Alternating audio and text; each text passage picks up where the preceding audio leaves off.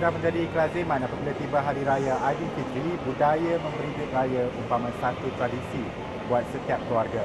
Dan pastinya pelbagai jenis sampul duit raya digunakan.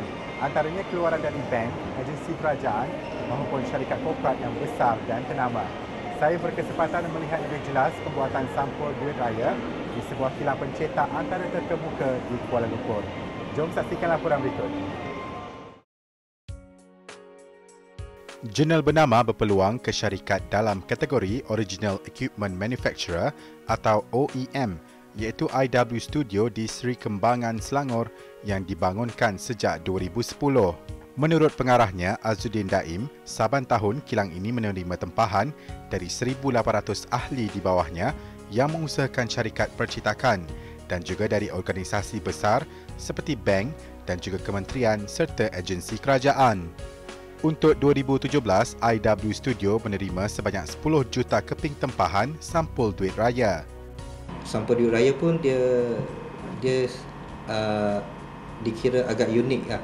Kalau dulu kita biasa uh, panggil dia ampau raya tu ampau. untuk Chinese-nya apa uh, money packet ni kan. So sekarang ni bila bila apa teknologi percetakan tu dah semakin canggih lepas tu kita boleh reducekan dia punya kuantiti. So kita jangkakan uh, permintaan untuk personalize apa uh, sampai duit raya ni akan meningkat dari tahun ke tahun.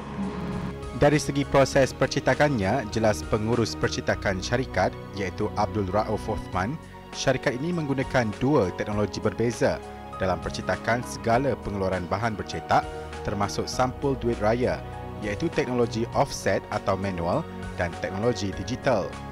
Perbezaan bagi kedua-dua teknologi ini adalah kuantiti yang boleh dihasilkan dalam satu-satu masa yang mana bagi kuantiti kurang dari 500 keping untuk teknologi digital manakala jumlah lebih dari itu menggunakan teknologi offset. Beliau juga menerangkan secara ringkas langkah menghasilkan sampul duit raya menggunakan teknologi offset atau manual untuk proses sampul duit raya first sekali kita akan uh, buat pemilihan design lah oleh customer. Customer akan buat pemilihan design. Uh, kemudian uh, kita akan minta detail daripada customer nama logo dan juga tema apa yang dia nak apa request daripada customer lah apa yang masuk dalam design. Lepas tu uh, masuk uh, part design uh, designer akan buat design. Uh, first draft akan hantar kepada customer untuk check uh, dan proses tu akan berulang lah sehingga kita akan dapat final design lah Okey, dah lepas dapat final design confirmation daripada customer, customer akan buat pembayaran untuk deposit untuk proceed. Uh, kemudian uh, kita akan proceed kepada buat plate lah. Buat plate tadi ada yang plate tadi yang part tu tadi tu, color tadi untuk offset lah.